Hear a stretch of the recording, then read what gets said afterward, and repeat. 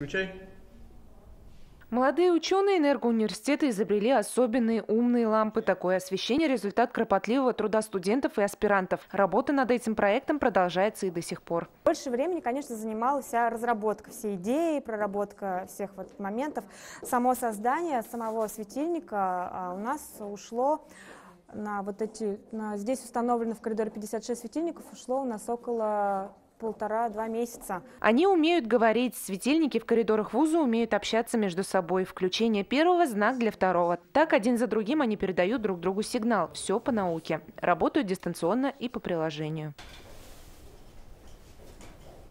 Лампа сама знает, когда свет необходим, а когда лучше сэкономить и погаснуть. На этот раз умный свет светит только тогда, когда нужно. Например, при дневном освещении он выключается и наоборот.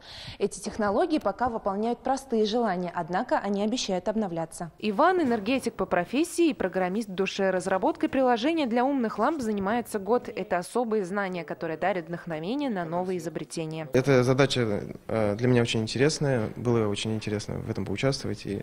В принципе, сам такое интересное саморазвитие. В зависимости от погоды, от теплого к холодному и наоборот, свет и цвет здесь имеют значение. Алина Мусина, Марат Зайдулин, ТНВ, Казань.